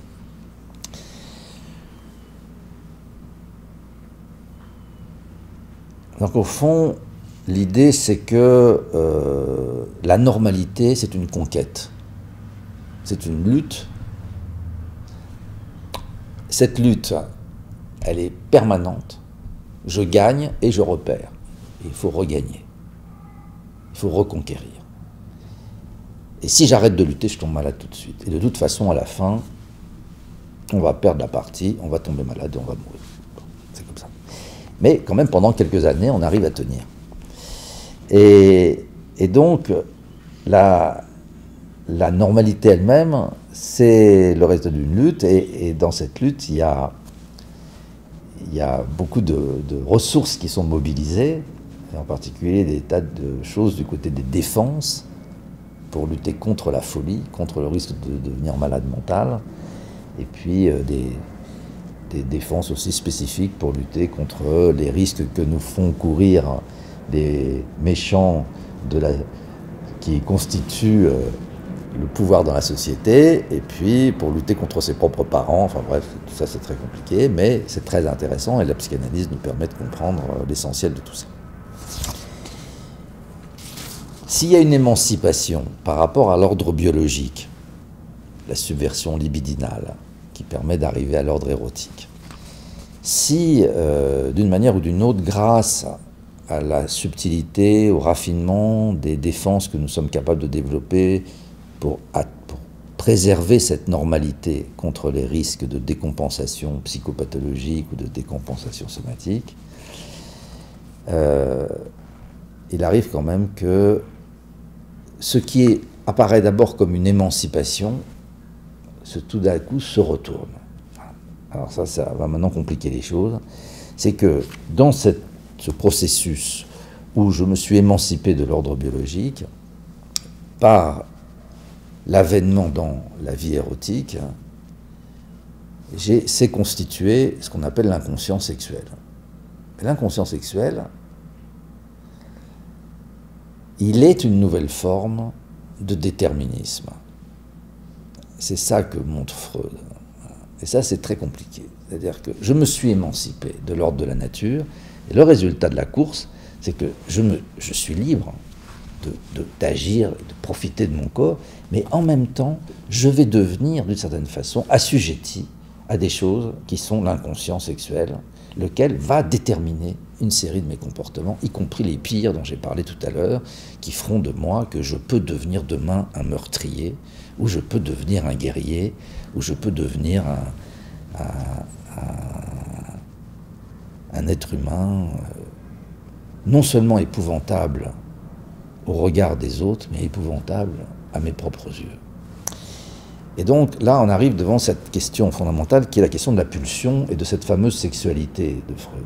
Qu'est-ce que c'est que cette sexualité? Qu'est-ce que c'est que cette inconscience sexuelle ben, L'inconscient sexuel, il est constitué de cette sexualité infantile, perverse et polymorphe. Ça veut dire que chez le petit enfant, cet inconscient, il est à l'origine des pulsions sexuelles. les pulsions sexuelles, elles fonctionnent pour elles-mêmes et pour le plaisir que chacune d'elles peut apporter, à l'excitation, à sensations euh, sensuelles qu'on éprouve dans, le corps. Mais c'est ça que nous apprend Freud, c'est que la pulsion, elle est euh, fondamentalement amorale. Elle cherche le plaisir pour le plaisir. Elle est amorale vis-à-vis de l'autre, c'est-à-dire que dès l'enfance, l'être humain cherche son plaisir, y compris en utilisant l'autre pour son plaisir. Il instrumentalise l'autre, il réifie, c'est la réification, est l'horizon de la pulsion, c'est la pulsion, elle est tendanciellement, elle va tendanciellement vers le fait d'utiliser l'autre pour son propre plaisir. Mais elle est non seulement impertinente vis-à-vis de l'autre, mais elle est impertinente vis-à-vis de soi-même. La pulsion, elle est amorale aussi vis-à-vis de soi. Car pour chercher l'excitation, toujours plus d'excitation, la pulsion, elle se fout éperdument, je suis grossier, hein, mais elle se moque de l'autoconservation. Alors, je veux m'exciter, donc encore un verre d'alcool. C'est rechercher encore plus. Et ça, c'est terrible. C'est-à-dire que je ne devrais pas boire ce verre d'alcool, parce que celui-là, il va être trop. Eh bien, je ne peux pas m'en empêcher, je vais encore boire un coup et Là, maintenant, j'ai dépassé la dose que mon corps peut supporter et je fais un coma éthylique. C'est pareil avec la drogue. Je prends un peu de drogue, encore après c'est l'overdose. Je prends la moto, encore un peu plus vite, et paf, je me casse la gueule. Je monte dans la montagne et je ne peux pas m'empêcher de monter, et encore parce que l'excitation, la recherche de l'excitation, la sexualité, elle est démoniaque. Elle va jusqu'à mettre en cause ma propre vie. Et c'est ça le caractère diabolique de la pulsion sexuelle. Mais, donc c'est vis-à-vis de soi-même, mais c'est aussi vis-à-vis de l'autre. Et dès, les enfants, le petit enfant, il est d'une cruauté terrible avec le petit frère. Je ne peux pas le supporter. Qu'est-ce qu'il y a? Le, petit frère, alors euh, voilà, pour avoir l'amour de la mère, ben, je vais le battre, je vais le casser, je vais lui crever les yeux. Ben, bon, euh, la, violence est, terrible déjà chez, le petit enfant. Et si on n'est pas là pour limiter ça, eh ben, les cours de récréation dans les, classes, il y a des enfants mutilés tout de suite. Donc, le problème, c'est ce caractère diabolique de la pulsion, c'est qu'il ne, il y a quelque chose de amoral et asocial. Et pour qu'il y ait une société, pour que les gens puissent vivre ensemble, il faut en passer par ce que Freud appelle le domptage de la pulsion. C'est la condition sine qua non de la possibilité de faire une société. Alors, euh, pour qu'il y ait une société, il faut que nous soyons capables entre nous d'élaborer des accords, des règles de vie qui vont s'opposer à la sexualité. C'est comme ça. La condition de la vie, c'est quand même, d'une certaine manière, de limiter la sexualité pour que nous puissions vivre ensemble. Alors, euh, moi, je m'appuie évidemment sur des théories sociales particulières, hein, c'est-à-dire, euh, voilà, c'est des longs débats que j'ai eus avec euh, des, sociologues de la sociologie de l'éthique, avec Paul Ladrière, avec Patrick Faro, avec Simone Bateman. On a, pendant des années, on a travaillé sur qu'est-ce qui permet de faire la société. Et là, pourquoi c'est important de dire que j'ai cette discussion avec les sociologues C'est parce qu'évidemment, on va se retrouver là, de nouveau, avec des accords avec Freud, en tout cas des zones de friction. Parce que Euh, Freud, il a une théorie de la société particulière. Il pense qu'on peut faire euh, comprendre comment fonctionne la société à partir de l'être humain individuel. Et il pense que ce qui est au principe du lien social, c'est la libido et c'est l'amour. Et moi, je ne crois pas.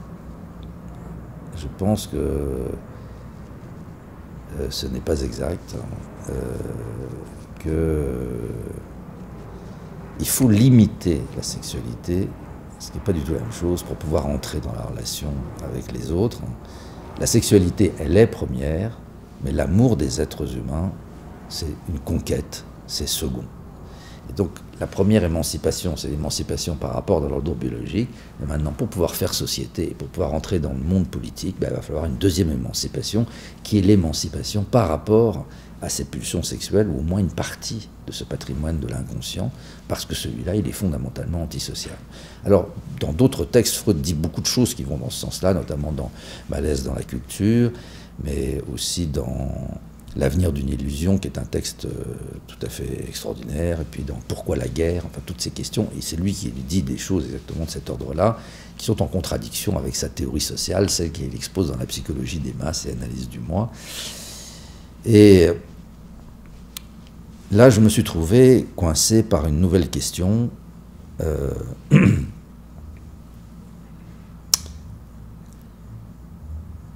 qui est que euh, pour pouvoir entrer en société, il faudrait donc arriver à dompter la pulsion, partiellement à dompter. On garde une partie de la pulsion, mais pour la vie sexuelle, mais il y a une partie de la, sexualité à laquelle il faut renoncer. Et ça pose un problème particulier, c'est le renoncement à la satisfaction sexuelle de la pulsion. Freud, il appelle ça le Triebverzicht, c'est-à-dire le renoncement pulsionnel. Et une des difficultés auxquelles, je me suis confronté dans la, psychanalyse, c'est que, euh, en partant de la psychosomatique, et puis par la suite en travaillant avec les névrosés, les psychotiques, etc., je me suis rendu compte que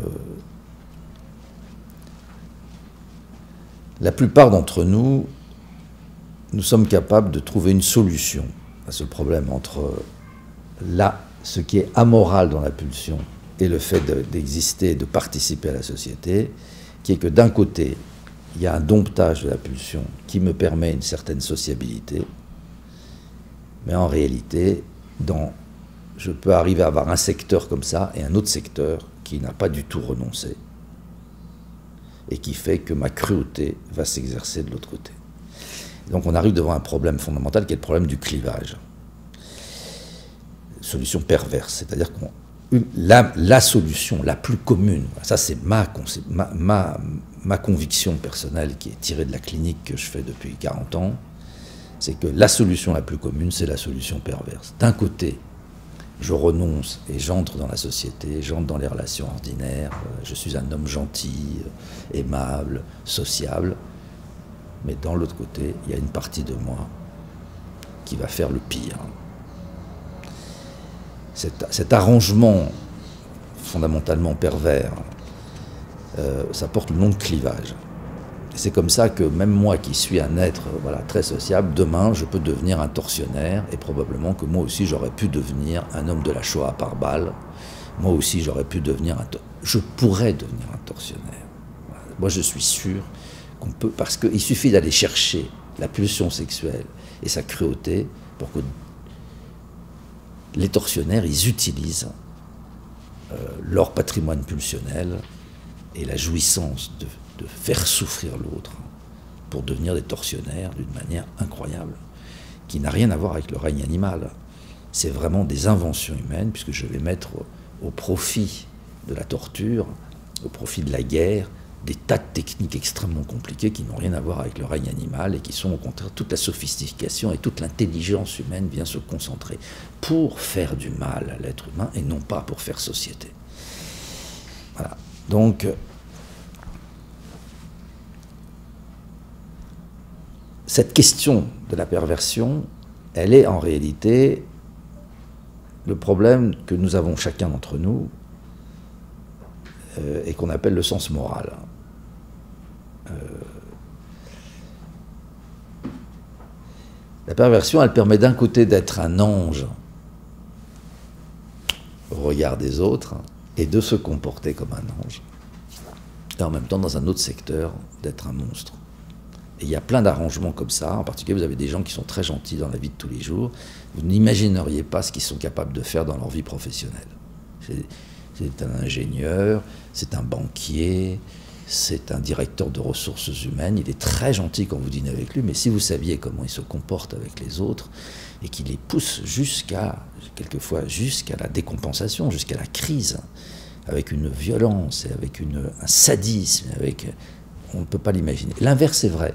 Vous avez des gens dans le travail qui sont des gens merveilleusement gentils, accueillants, et vous n'imagineriez pas qu'ils traitent ses enfants comme ça, et qu'il exerce la tyrannie et la dictature sur sa femme, et qu'il la cogne tous les jours. On ne peut pas imaginer que cet homme est si gentil dans son boulot, et que de l'autre côté, c'est la terreur quand il rentre chez lui. Ce clivage-là, il est pour moi le problème principal, en fait, euh, le problème du sens moral. Et je pense que spontanément, c'est euh, la grande formule de la normalité, c'est ça. Donc, tout à l'heure, je disais, c'est bien d'être normal, parce que c'est quand même mieux que d'être malade. Oui, mais. Oui, mais parce que je vois que la normalité, elle est souvent conquise grâce à ce clivage.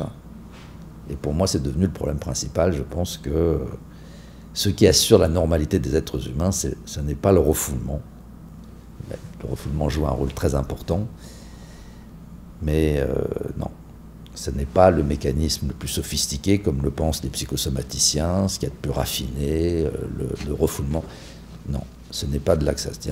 La formule la plus commune, c'est le clivage et la perversion, et la séparation des deux. Alors maintenant, un certain nombre d'entre nous ne réussissons pas ou ne nous n'acceptons pas d'être clivés. C'est une réalité. Un certain nombre d'entre nous ne voulons pas, ne pouvons pas tenir ce clivage.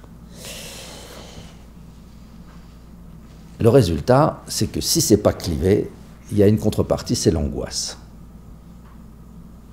Je sais qu'en moi, il y a des parties de moi qui sont sauvages, qui sont inhumaines, qui sont sadiques, qui sont perverses.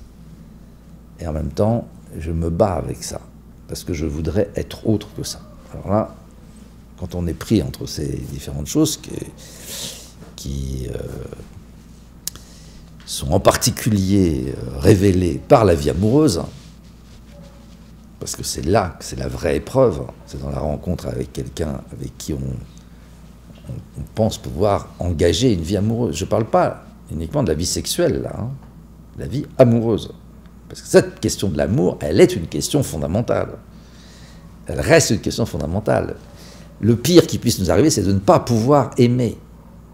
C'est pas seulement de ne pas pouvoir être aimé, c'est de ne pas pouvoir aimer. Et vous avez plein de gens qui viennent en analyse et viennent pour ça. Ils disent J'arrive pas à être amoureux. Et c'est la vie ne vaut pas la peine d'être vécue. Donc la question de l'amour, elle, est une question très très importante qui nous est adressée constamment par les patients. Alors,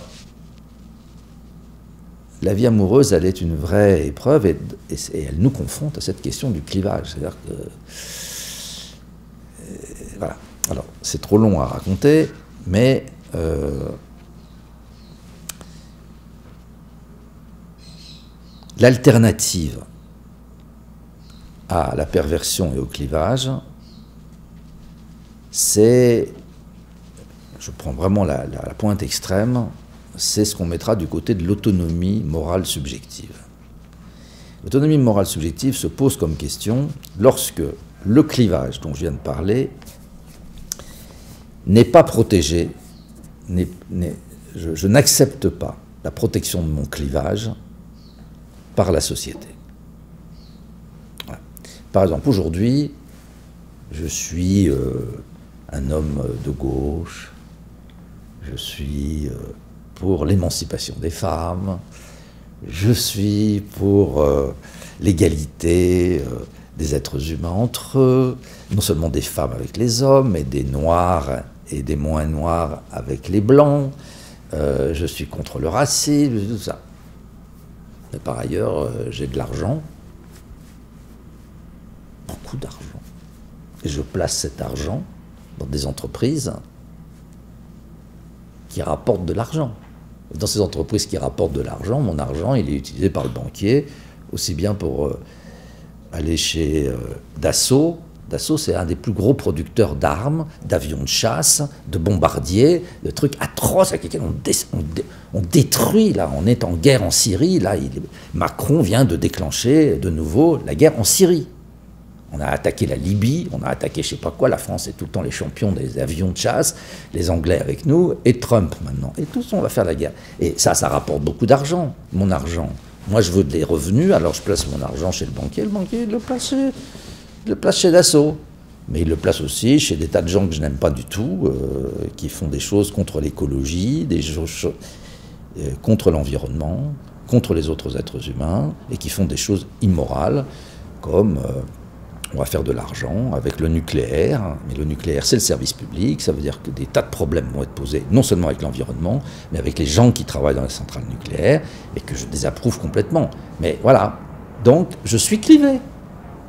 D'un côté, je suis un homme de gauche, en fait j'ai des pratiques, et moi-même, je profite de la vie euh, d'une manière dégueulasse. Je vais dans les, hôtels de luxe au Brésil ou ailleurs, alors qu'il y a des véritables esclaves qui sont là en train de travailler pour moi.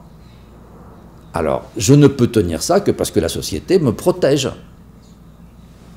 Et qu'elle me dit, mais non, c'est pas grave, c'est comme ça, euh, c'est le déterminisme économique, euh, c'est le progrès de, de l'histoire, on n'y peut rien, donc vous êtes innocent.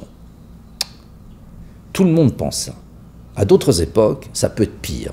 On peut vous dire, euh, ce qui est bien, c'est d'exterminer les juifs. Parce que les juifs, ils sentent mauvais, les juifs, c'est une véritable peste, les juifs, ils dénaturent le Völkisch allemand, et donc détruire le juif, c'est bien, et tout le monde le pense. Mais aujourd'hui, on n'est pas très loin de ça. En Hongrie, la majorité des gens, aujourd'hui, ils votent pour Orban, qui, met les, affiches antisémites sur les, murs de, euh, de, Budapest. Mais quand on va en Pologne, c'est pas mieux. Et quand on va en, Ukraine, c'est pas mieux. Et quand on va en Russie, c'est Poutine. Et maintenant, ça vient petit à petit. Et de plus en plus, c'est l'extrême droite. Donc tout le monde va penser qu'il faut virer les immigrés, qu'il faut expulser euh, les réfugiés qui viennent de tous ces pays, etc. Et donc,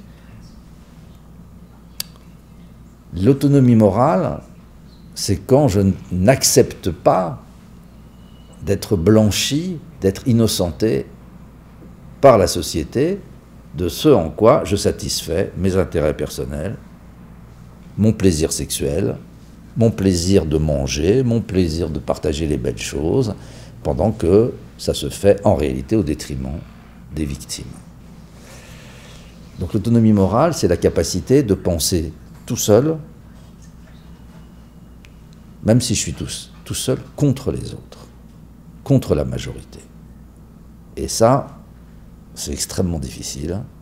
Donc, l'autonomie morale, qui est pour quelqu'un de refuser, hein, si on reprend le,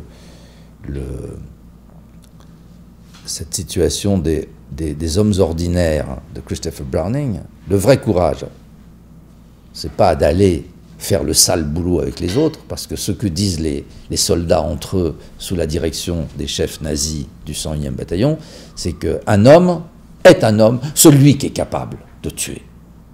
L'autre qui ne peut pas, c'est pas un homme, c'est une chiffre molle, c'est un PD, c'est une femme, c'est une gonzesse. On va l'insulter et l'humilier. Eh bien, le vrai courage, c'est de dire je ne peux pas. Le vrai courage, c'est de dire je refuse de tuer et non pas je suis un homme comme les autres hommes et je peux tuer. Mais là, quand tout le monde pense le contraire, quand on a la pression de tout le monde, arriver à penser tout seul et dire non, je refuse d'aller tuer, je refuse de participer, bon, c'est très très difficile. Et donc personnellement, je pense que c'est possible, mais je pense que c'est le fait de gens exceptionnels, pas moi. Moi, je ne fais pas partie des gens comme ça. Et je pense que ce sont des héros, des gens qui arrivent à avoir l'autonomie morale. Donc on est pris entre, du point de vue psychanalytique, ce problème du sens moral est une question fondamentale qui, à mon avis, n'est pas traitée euh, par Freud, et euh, sur laquelle donc je, me suis, euh, avec laquelle je me suis battu depuis le début. Donc émancipation, émancipation. Mais vous voyez, à chaque fois on est rattrapé, on s'est émancipé de quelque chose, c'est pour être repris par un autre déterminisme, et puis maintenant c'est le clivage dans lequel on est amené finalement tous les uns et les autres à contribuer au pire. Donc on est très loin de l'émancipation au sens politique du terme, de ce que ça voudrait dire que le mot émancipation. Pourtant, je ne vais pas lâcher mon trajet là-dessus, et je pense que la plupart d'entre nous n'étant pas des héros, nous sommes donc menacés par le clivage, et la question maintenant c'est comment on sort de ça quand on n'est pas un héros? Et je pense qu'il y a des solutions à ça, et c'est pour ça que je pense qu'il y a une possibilité de penser l'émancipation sur le plan politique. Mais alors voilà, donc là, on va voir qu'est-ce que, la, psychanalyse peut apporter à ça. Alors là, on bascule dans un autre domaine,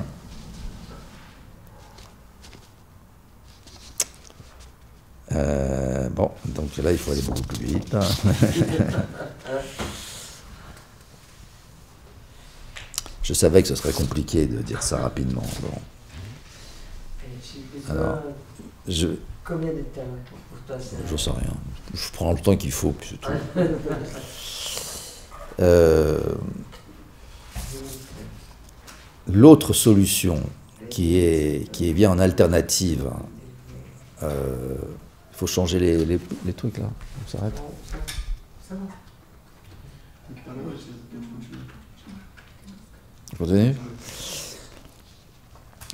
L'autre donc l'alternative à l'autonomie morale subjective, elle passe par une médiation spéciale entre l'être humain individuel et la société. Et cet intermédiaire, pour moi, c'est le travail. Donc, très brièvement, euh, la, thèse que, que je, défendrai personnellement, c'est euh, la thèse de la centralité du travail, c'est comme ça qu'on l'appelle, euh, qui donc est vraiment en décalage par rapport à la conception de Freud, c'est-à-dire que je ne crois pas que ce qui permet le lien social, c'est l'amour de l'être humain pour l'autre, c'est un amour qui est médiatisé par la question du travail. C'est parce que j'ai besoin de l'autre pour pouvoir agir ensemble sur le monde, sur la nature, pour faire de la production agricole ou pour faire de l'élevage ou de travail. J'ai besoin de l'autre pour pouvoir faire marcher une centrale nucléaire et obtenir l'électricité.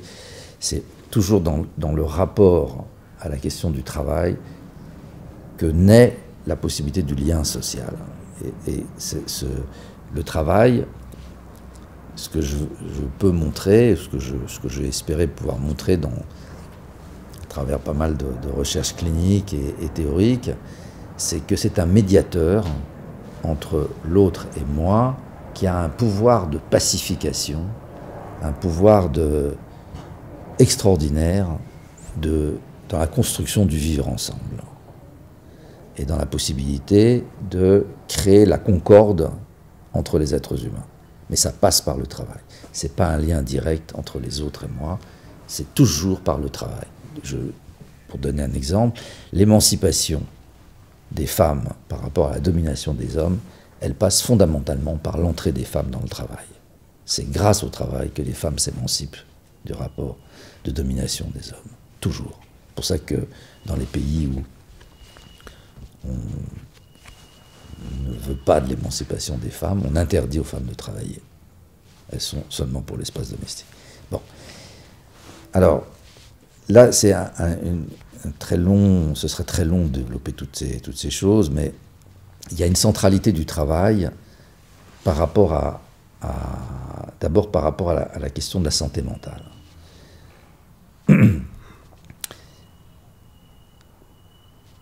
Il n'y a pas de neutralité du travail vis-à-vis de la santé. Si le travail peut générer le pire aujourd'hui, c'est-à-dire il peut être une telle source de souffrance dans les conditions qui nous sont faites, dans les modalités d'organisation du travail, avec le tournant gestionnaire, avec euh, euh, les nouvelles méthodes d'organisation du travail qui ont été introduites par les gestionnaires, on en est, on en arrive maintenant jusqu'au suicide sur les lieux du travail. Donc le travail peut générer le pire. Mais dans un certain nombre de cas, le travail peut générer le meilleur du point de vue de la santé mentale. Il y a des raisons extrêmement précises qu'on peut euh, tout à, fait, tout à fait identifier, grâce auxquelles, par le travail, je réussis à entrer dans un processus d'accomplissement de soi. C'est-à-dire qu'après le travail, j'ai acquis des habiletés, des savoir-faire, une technicité, euh, et même je, suis capable de développer en moi des formes d'intelligence qui n'étaient pas là avant que je travaille. Si je prenais un exemple, je pourrais, c'est un exemple comme un autre, si je travaille mon piano, travail, hein, si je travaille le piano et que je me bats avec le piano pendant des semaines, des mois pour attraper quelque chose, il y a un moment donné où je vais arriver à la vélocité, à se toucher en perlé, à attraper. Et quand je sais le faire, c'est gagné. Maintenant, je sais faire ça tout le temps. Et quelque chose de, d'une nouvelle habileté que j'ai, réussi à acquérir comme ça fait que je suis plus intelligent, je suis meilleur pianiste avant que je n'étais avant de faire ça. Donc le travail me rend plus intelligent et finalement, après le travail, il y a davantage d'amour de soi. Je m'aime moi-même plus après le travail qu'avant. Cette question de la, c'est ça l'accomplissement de soi. C'est le fait que d'étape en étape, le travail peut devenir un médiateur dans la construction de soi. Et c'est le plus grand, un des plus grands plaisirs qui nous soit donné, c'est le développement de la sensibilité grâce au piano, comme maintenant je sais jouer, j'entends dans le jeu de l'autre pianiste des choses que je n'entendais pas avant d'avoir été capable de le faire. Donc ma sensibilité aussi s'accroît. Et si je travaille le bois, y a un moment donné où je... Voilà, je pourrais vous faire le même numéro pour le bois, pour la pierre, pour le menuisier qui a l'habitude de travailler le bois, il voit un meuble, il passe. Ah, il est ébloui. Qu'est-ce que c'est beau ce meuble. Vous, vous voyez pas. C'est un meuble, c'est une commode. Non, lui, il, est, il, il pleure, lui, tellement c'est beau. La sensibilité s'accroît. Ça, c'est la vie qui s'accroît par le travail. Bon, première centralité. Deuxième centralité du travail, c'est la, centralité du travail par rapport aux relations entre les hommes et les femmes. J'en ai déjà parlé un petit peu à propos de l'émancipation, mais je pourrais vous montrer que dans les relations entre un homme et une femme, la question du travail, elle est centrale, parce qu'il y a aussi le travail domestique, il n'y a pas que le travail de production. Le travail domestique, c'est un travail très compliqué, et la façon dont on joue ça, c'est absolument central, la façon dont on pense cette question du travail dans l'économie conjugale, et ça va jusque sous les draps. Troisième point, troisième centralité, c'est la centralité politique du travail. Donc c'était celle qui vient à propos de cette histoire de lien social. Alors, euh, bon, je vais essayer de le récapituler. Euh, c'est évidemment peut-être le chaînon le plus important, c'est que là, ce dont je parlais, c'était de l'intelligence individuelle dans le rapport au travail, l'accomplissement de soi par le développement de l'intelligence. Mais quand on, quand on, veut, euh, dans le travail ordinaire, on travaille avec les autres. Il faut s'arranger pour travailler avec d'autres personnes. On travaille pour des chefs, on travaille pour ses subordonnés, on travaille pour ses collègues, on travaille avec des collègues pour faire une équipe, pour faire etc. Donc, le problème, c'est comment mettre toutes les intelligences individuelles ensemble pour arriver à faire quelque chose. Alors, c'est là que commence cette question du lien social, ça s'appelle la coopération. Et pour pouvoir coopérer, il y a un, intermédiaire fondamental, c'est euh, un espace dans lequel les gens puissent discuter de comment on travaille ensemble. Ça en fait ou ça en fait pas. C'est bien ou c'est mal. C'est juste ou c'est pas juste. C'est efficace, c'est pas efficace. Voilà. Cet espace de délibération, ça porte le nom d'espace de délibération, c'est un espace magnifique dans lequel les gens disent ce qu'ils font disent ce qu'ils pensent. Donc c'est des espaces dans lesquels il faut témoigner de son rapport au travail. En psychanalyse, c'est classique, euh, quand, on travaille bien, eh ben, on va raconter à sa clinique, à d'autres psychanalystes. Il faut parler de son travail pour témoigner de son travail, dire ce qu'on fait et dire ce qu'on pense, pour s'exposer à la critique des autres. Donc, si tout le monde fait ça dans un collectif, dans un groupe, alors on arrive à, constituer des accords. Ça, c'est bien, on peut le faire, c'est une bonne façon de faire, mais ça, il ne faut pas faire. C'est pas bien. Et donc on arrive comme ça à constituer des accords entre les gens, puis des accords normatifs, puis des, chaînes d'accords entre eux qui constituent des règles. Et cette activité, c'est une activité de production de règles, et c'est à partir de ce moment-là qu'il y a vraiment un collectif de travail et que se constitue la coopération. La coopération, elle repose sur la capacité des êtres humains de parler, de dire ce qu'ils pensent, mais aussi la capacité d'écouter les autres, c'est-à-dire d'écouter en, en prenant le risque d'entendre. Pas seulement écouter, mais. Bon, alors je vais finir là-dessus. Euh,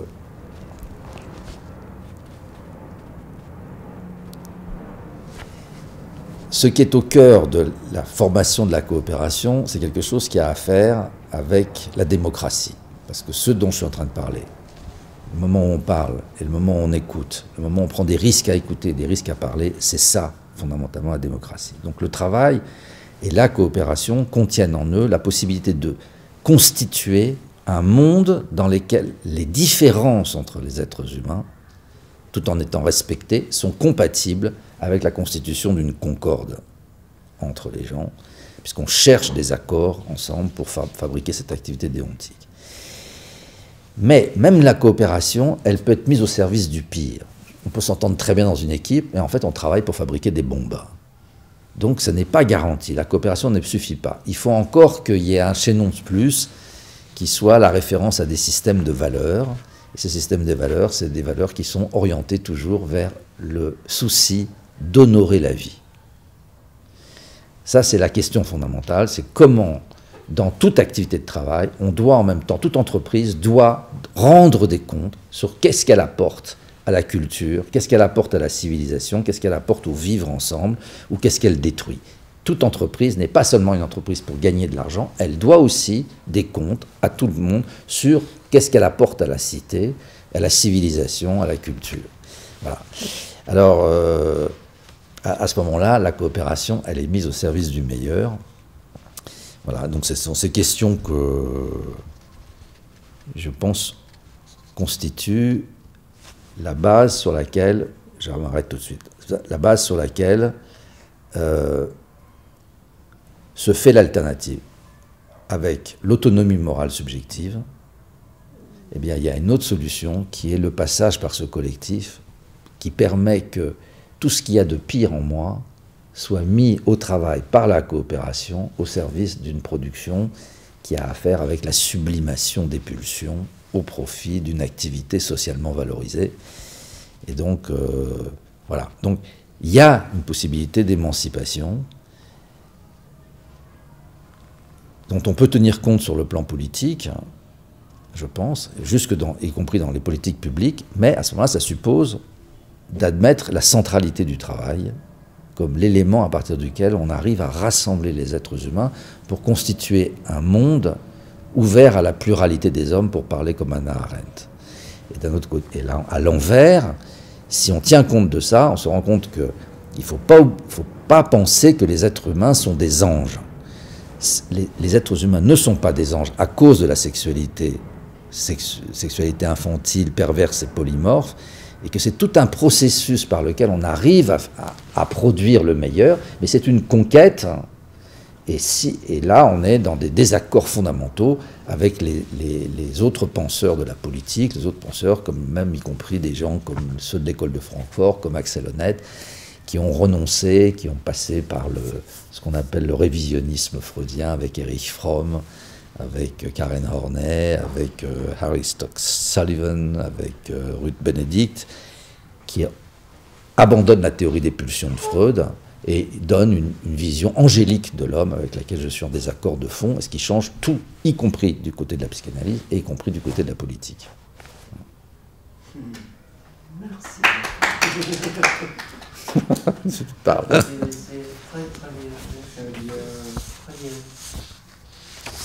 C'est un peu raté, mais ça fait rien. Ah C'est raté. Mais ça fait rien. on ne peut pas faire bien. c'est trop long. C'est trop long. C'est trop long. La double centralité. Ouais, très très bien. Voilà. C'était la double centralité, exactement. La double centralité du travail et de la sexualité. Et c'est un paradoxe de la double centralité, mais en réalité, euh, voilà, il y a une solution théorique et métapsychologique à cette double centralité.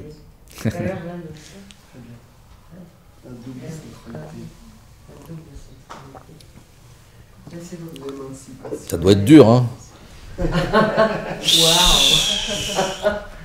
É ter braço mesmo, cara. Ele tá Olha. Você tá compris quelque chose à ce moment-là. crois.